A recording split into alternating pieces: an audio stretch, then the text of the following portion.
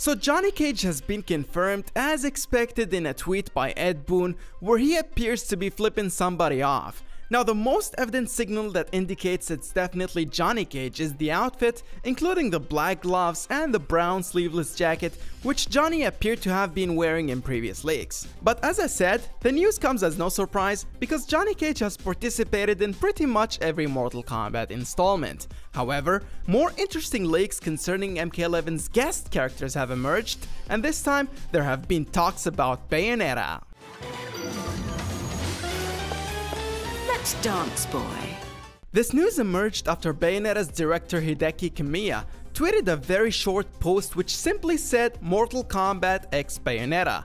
Now the tweet has since been deleted, but I personally think that Kamiya might have tried to snowball a new trend similar to the one we saw with Shaggy and all the memes that followed. But remember, despite being featured in Super Smash Bros, Bayonetta is no stranger to blood and violence in her own series, which means that unlike other characters, the likelihood of her being featured at least in the future is not actually very low.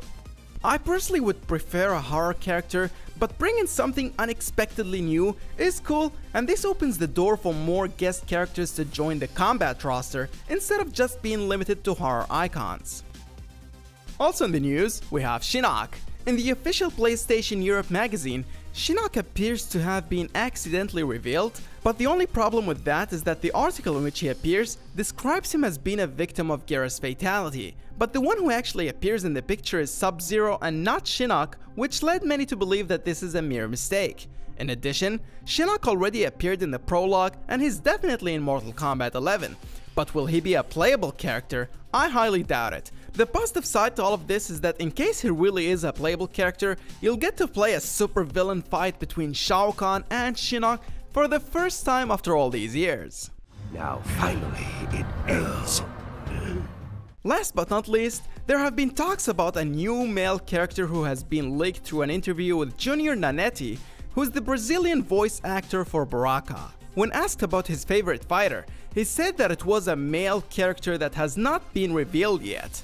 Now the interview in question has since been deleted because assumingly too much information was made known. But anyways, we're just a month away from the official release of the beta version for those who pre-ordered the game, and until then, I'm sure we'll have lots of reveals, leaks, and much more. As usual, let me guys know what you make of these leaks. For more, make sure to like the video and subscribe to GameLution.